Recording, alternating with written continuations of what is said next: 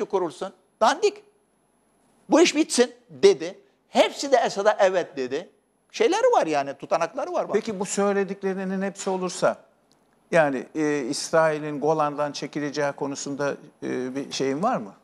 Hayatta. Tahminin. E niye ona gerek yok? Hani somut bir şey anlatayım o zaman. 2008, Aralık 2008. Ee, Erdoğan, e, o zaman Davutoğlu da Dışişleri Bakanıydı. Esad'la gizli ki ben biliyordum bir şekilde e, görüşmeler yapıyorlardı. Yani aynen bu sonucu elde etmek için. Yani İsrail Golan bölgesinden çekilecek ve e, şey e, Filistin devleti kurulacak.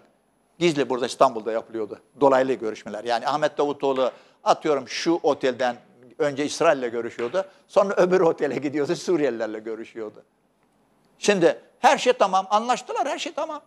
Son toplantı, son toplantı e, Ankara'da e, Erdoğan şeyi arıyor. E, İsrail Başbakanı o zaman Olmert'ti başbakan. Ya tamam dedi değil mi? Bak o bir şey yapmayın, yamukluk yapmayın. Son anda Çünkü öbür tarafta telefonla Esat var dedi. Bu yüzde yüz doğru bilgidir. Ona göre söyleyeceğim.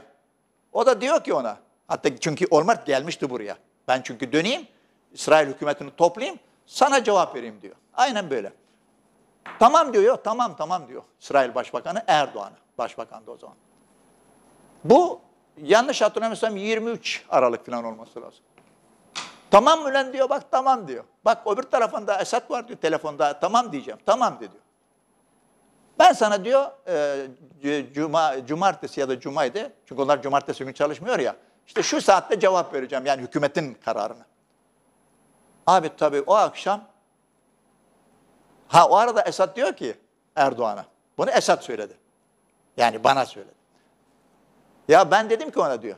Sayın Erdoğan bu İsraillerle güvenme. Bunlar sana da kazık atar bize de kazık atar.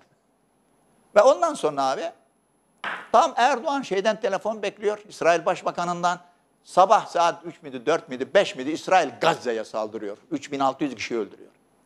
2008 Aralık, 25-26 Aralık olması lazım. İşte Erdoğan, Esad da diyor ki ben sana söyledim bunlara güvenme. Onun için İsrail barış yapamaz. Peki İsrail e, Gazze'de El Fetih e, kazansaydı e, daha farklı olur muydu? E, olurdu tabii. Ama yani o Hamas'ın 2005 Aralık 2005 seçimlerinde yani buradaki en büyük sorun şu anda ya, Hamas aslında. Hamas. Şimdi Hamas bak seçime girmiyordu 2005 seçimlerinde. İşte Batı böyle kalleş.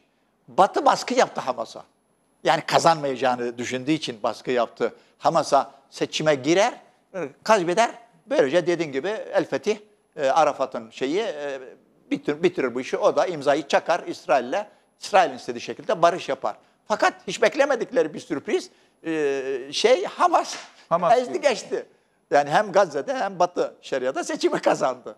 E şimdi hani onlar da demokrasiye inanıyor ya Batı Amerikalılar. Ya Hamas kazandığına göre e ne yapalım kabul edelim dediler ama tabii o o öyle olmuyor. İşte iyilikten maraz doğar derler. Aynen işte bu öyle oldu sonuçta. Ondan sonrası zaten.